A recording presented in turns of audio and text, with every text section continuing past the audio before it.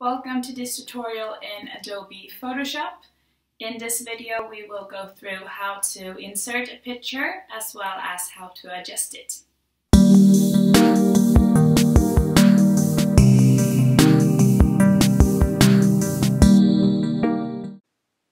There are basically two ways that you can insert a picture into Adobe Photoshop.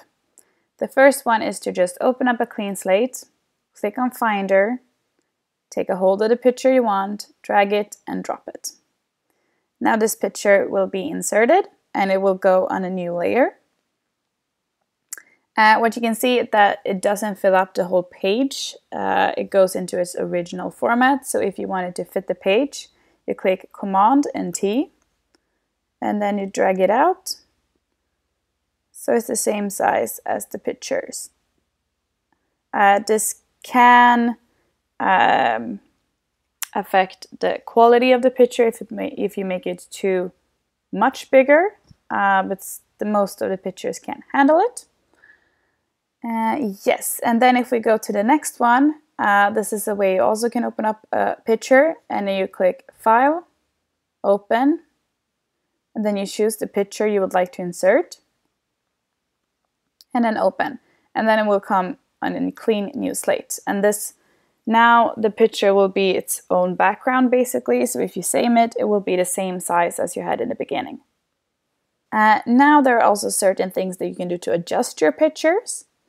And this you do if you go to image and then adjustments. Then for example you can click on brightness and contrast.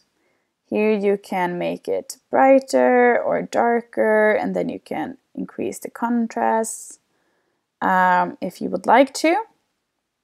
You could also go back to image, adjustments, and then you can click on photo filter.